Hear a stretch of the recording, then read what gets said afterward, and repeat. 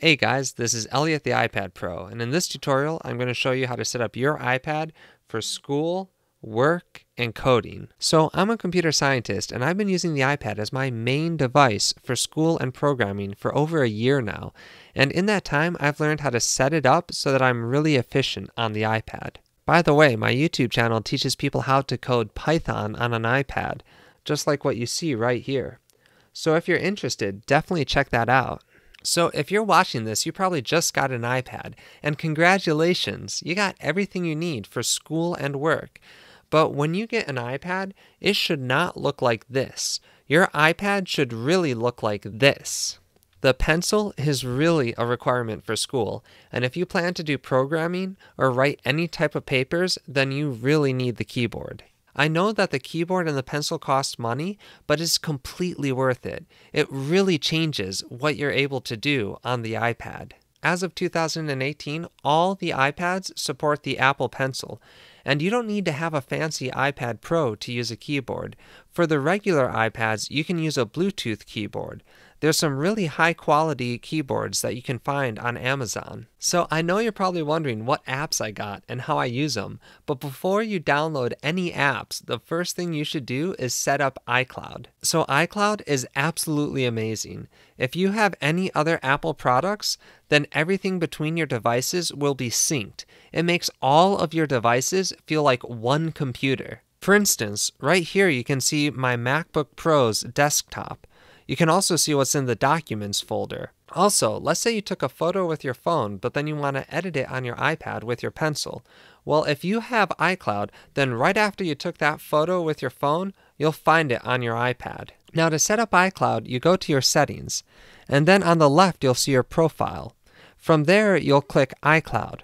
Now, this is where you set up iCloud. So, Apple has a really good tutorial about how to set up iCloud, and I'll put a link to this in the description of this video. Okay, so that's iCloud. Now let's get to the actual apps. So, probably your first question is what apps do you use for all your daily work, like writing emails, writing papers, making PowerPoint presentations? And really, the thing I usually use is Apple's apps. At first, I was a little skeptical about Apple's version of Microsoft Word or Apple's version of PowerPoint.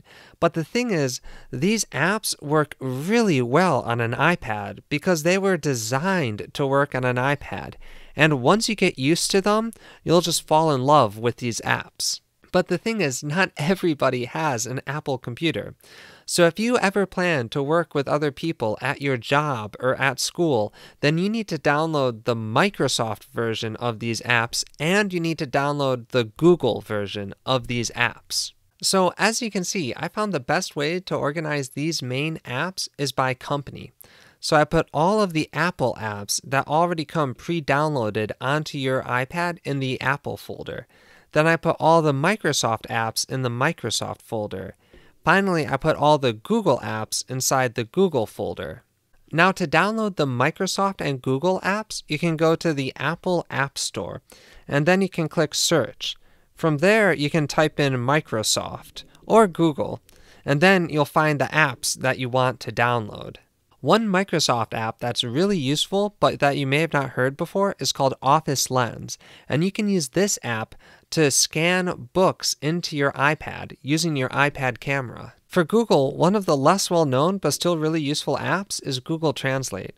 Also, Google Earth is really fun if you haven't seen it before. Now, in general, I put all my apps in one of three places. A lot of my apps are inside folders but then I put the apps I use the most on their own page. Finally, some of the apps are in the dock at the bottom of the screen. Now, the apps in the dock are extra important, and that's not just because I use them a lot. These are the apps that can be used for multitasking. So, to give you an example, let's say I'm working on a PowerPoint presentation and I want to add an image. Well, to do that, I can open up my Photos app and then I can just drag the photo I want into the PowerPoint presentation and resize it from there.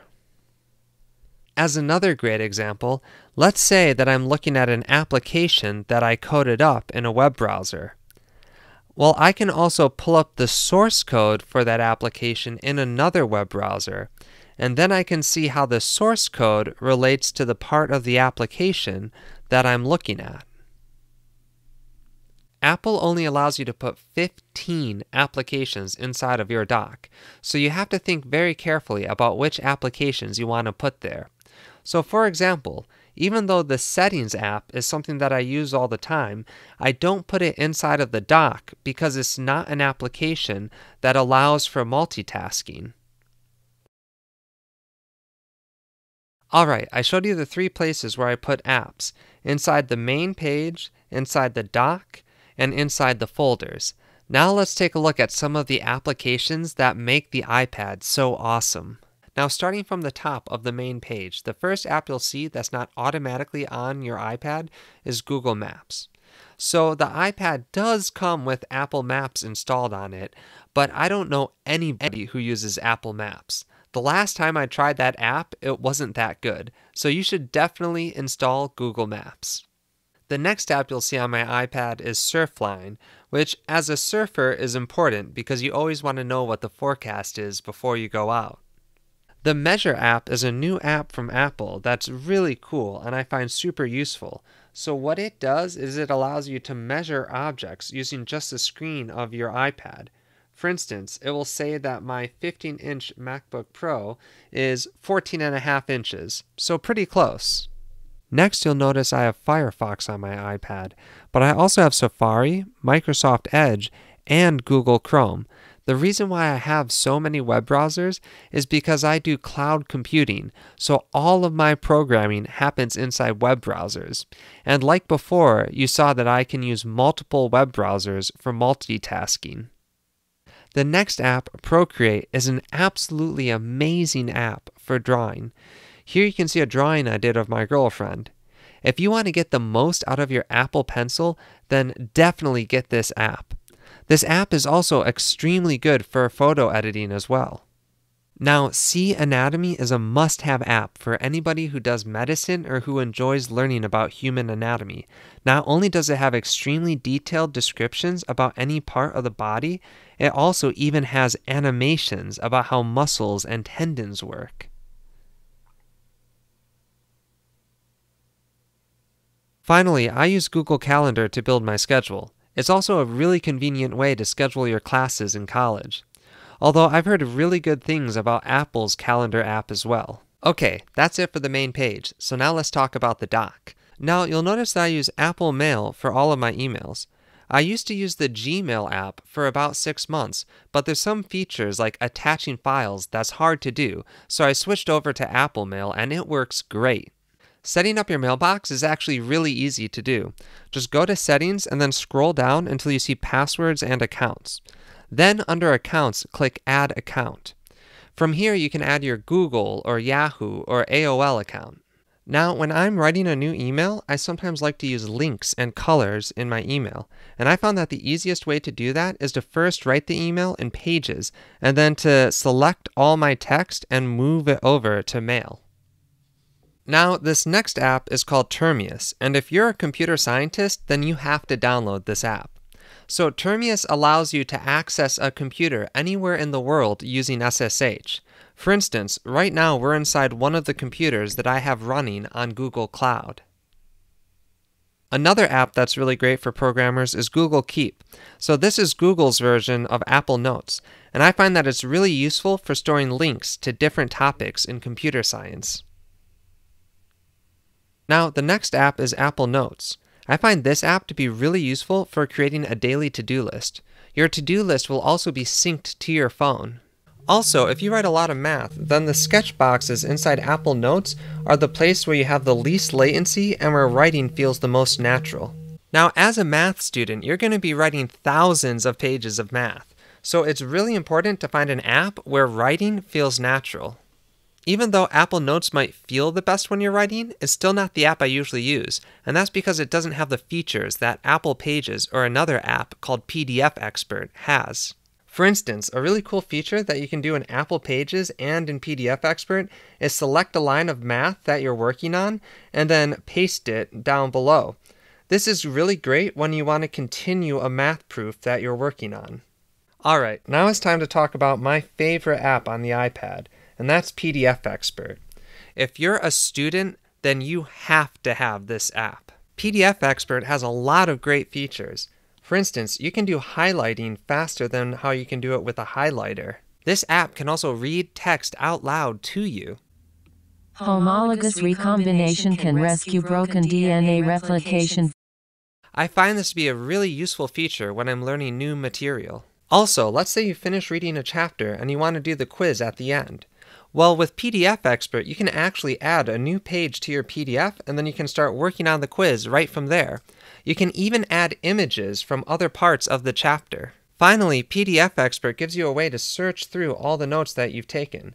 For instance, you can search through your highlights based on what color they are. With PDF Expert, it's actually really easy to organize all of your material by topic. So this is an amazing app, but the one catch is that it only works for PDF documents. You can usually find free PDFs online for most books about math, computer science, statistics, and advanced physics. But it's really hard to find PDFs about biology, chemistry, and medicine. For these subjects, you can almost always find a digital copy of the book that you're looking for on Amazon. But once you download the book off of Amazon, you then have to read it in Kindle. And Kindle might be okay for literature, but it's a terrible application for trying to do real studying. So, what I do instead of reading Kindle is I choose which chapter I'm going to read, and then I take a screenshot of every single page in that chapter. When I'm finished, I then open up another app called Scanner Pro, and I can use that to turn those pictures into a PDF document. To do this, I select all of the photos from the chapter, and then I turn those into a PDF. When you have the PDF, click Actions and then Recognize Document. This makes it so that you can highlight and copy text from the PDF. Now, doing this might seem tedious, but you're going to be spending months reading these books and you're going to keep these notes for the rest of your life. So, I really recommend that you use PDF Expert. Alright, that's it for the dock. Now there's just a few more last apps to cover inside my folders. Let's take a look at my utilities. If you're a computer scientist, you're going to need a VPN for testing web apps. A VPN is also necessary if you want to download movies illegally. NordVPN is probably the world's most reliable VPN, and they have an app for iPad. AdBlock is awesome if you don't want ads in Safari, and Juno is great for coding on Jupyter. I'll cover Juno in another video. One cool thing is that I actually do all of my stock trading on my iPad. TD Ameritrade has some really good apps for that. If you're into hiking, All Trails is great. It shows you different hiking routes and their difficulty. If you look into my Messenger apps, you'll notice that I don't have WhatsApp. It's annoying, but Apple doesn't support WhatsApp. And finally, yes, I am a big fan of Minecraft. Alright, that covers my iPad setup. So what do you guys think? Do you have questions? Did I leave any apps out? If so, write a comment. If you enjoyed the video, definitely hit like and subscribe. Alright, this is Elliott the iPad Pro. See you guys next video.